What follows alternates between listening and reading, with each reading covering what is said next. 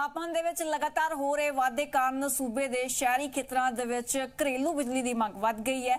ਪੰਜਾਬ ਵਿੱਚ ਬਿਜਲੀ ਦੀ ਮੰਗ ਵਿੱਚ ਪਿਛਲੇ ਸਾਲ ਦੇ ਮੁਕਾਬਲੇ 65% ਵਾਧਾ ਹੋਇਆ ਹੈ ਤੇ ਉਧਰ ਬਠਿੰਡਾ, ਦਿਲਾਰਾ, ਮੁਹੱਬਤ ਥਰਮਲ ਪਲਾਂਟ ਦੇ 4 ਯੂਨਿਟਾਂ ਦੇ ਵਿੱਚੋਂ 2 ਯੂਨਿਟ ਬੰਦ ਹੋ ਗਏ ਨੇ।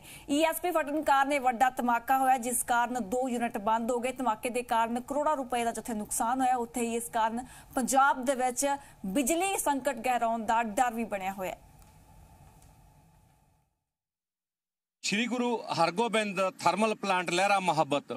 ਜੇ ਗੱਲ ਕਰੀਏ ਤਾਂ ਉੱਥੋਂ ਦੇ 4 ਯੂਨਿਟਾਂ ਵਿੱਚੋਂ 2 ਯੂਨਿਟ ਇਸ ਕਰਕੇ ਬੰਦ ਹੋ ਗਏ ਕਿਉਂਕਿ ਰਾਤ 9:30 ਵਜੇ ਤੋਂ ਬਾਅਦ ਐਸ਼ ਹੌਪਰ, ਜਿਹੜਾ ਦੱਸਿਆ ਜਾ ਰਿਹਾ ਹੈ ਕਿ ਉਹਨਾਂ ਦੇ ਫਟਣ ਕਾਰਨ ਰਾਖ ਬਹੁਤ ਜ਼ਿਆਦਾ ਹੋ ਗਈ ਔਰ ਉਸ ਤੋਂ ਬਾਅਦ ਉਹ ਜਿਹੜੇ ਦੋ ਯੂਨਿਟ ਨੇ, ਉਹ ਬੰਦ ਹੋ ਗਏ। 210-10 ਮੈਗਾਵਾਟ ਦੇ ਇਹ ਦੋ ਯੂਨਿਟ ਜਿਹੜੇ ਨੇ, ਇਹ ਬਿਜਲੀ ਜਿਹੜੀ ਕਿ ਹੁਣ ਇਸ ਟਾਈਮ ਕਿੱਲਤ, ਬਹੁਤ ਵੱਡੀ ਕਿੱਲਤ ਜਿਹੜੀ ਪੰਜਾਬ ਦੇ ਵਿੱਚ ਬਿਜਲੀ ਦੀ ਚੱਲ ਰਹੀ ਸੀ, ਕਿਤੇ ਨਾ ਕਿਤੇ ਇਸ ਗੱਲ ਦੀ ਵੱਡੀ ਸਮੱਸਿਆ ਲੋਕਾਂ ਦੇ ਲਈ ਜਿਹੜੀ ਖੜੀ ਹੋਵੇਗੀ, ਕਿਉਂਕਿ ਇਹ ਸਮਾਂ ਇਸ ਟਾਈਮ ਜਿਹੜਾ ਨਰਮੇ ਦੀ ਬਜਾਈ ਦਾ ਤੇ ਝੋਨੇ ਦੀ ਪਨੀਰੀ ਲੱਗ ਰਹੀ ਹੈ। ਕਿਸਾਨਾਂ ਨੂੰ ਪਹਿਲਾਂ ਹੀ ਜਿਹੜੇ ਨੇ ਪਿੰਡਾਂ ਦੇ ਵਿੱਚ ਬਹੁਤ ਵੱਡੇ ਵੱਡੇ ਕੱਟ ਲੱਗ ਰਹੇ ਨੇ, ਜਿਸ ਕਰਕੇ ਪਹਿਲਾਂ ਹੀ ਕਿਸਾਨ ਜਿਹੜੇ ਨੇ ਪਰੇਸ਼ਾਨ ਨੇ। ਕਿਤੇ ਨਾ ਕਿਤੇ ਇੰਡਸਟਰੀ ਨੂੰ ਖੇਤੀਬਾੜੀ ਨੂੰ, ਕਿਸਾਨੀ ਨੂੰ ਇਸ ਤੇ ਪ੍ਰਭਾਵ ਜ਼ਰੂਰ ਪਵੇਗਾ।